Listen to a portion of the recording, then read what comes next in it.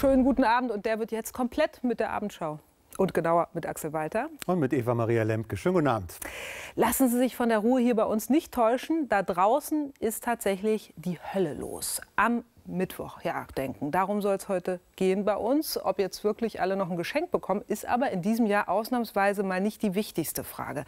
Gerade ist es eher die nach den Kinderlein, die da kommen. Und zwar um einiges früher nach Hause als erwartet. Schon am Mittwoch machen die Schulen zu und die Kitas eigentlich auch, aber sie sollen dann eben auch für Notbetreuung offen stehen. Ob und wann Not am Mann und an der Frau ist, ist dabei allerdings nicht so ganz klar.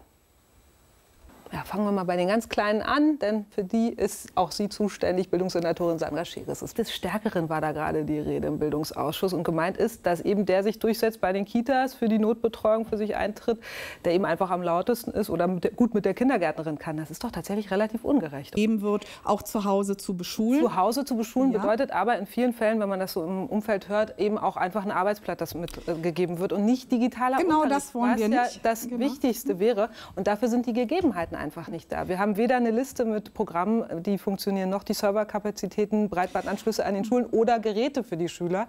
Was ist in den neun Monaten, die diese Pandemie die Sorge, die uns auf die Straße treibt. Das klingt fast wie ein Weihnachtsthriller. Und genauso unwirklich fühlt sich das alles gerade irgendwie an. Keine Zeit für Besinnlichkeit und bei den meisten, die man so fragt, immer noch keinen Schimmer, wie es denn jetzt eigentlich ablaufen soll, das Weihnachtsfest im Kreise der Familie. Heute ganz aktuell kommt nun die genaue Regelung vom Senat.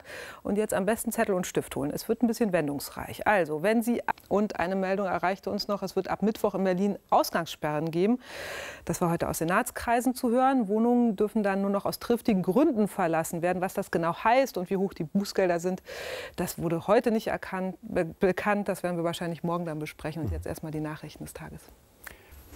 Unser Adventskalender ist einer, der zurückblickt. Wir treffen diejenigen noch mal, die unsere Reporter besonders beeindruckt haben in diesem Jahr. Und heute ist das durchaus zukunftsweisend, denn hey, hier kommt Alex. Der zeigt, wie man auch bei geschlossener Ladentür den Kundenkontakt hält.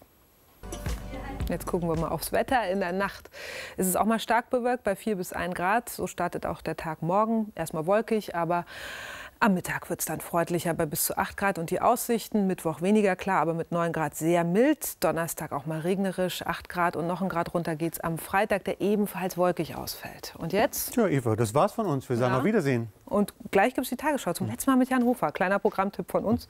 Schönen Abend noch. Bis morgen.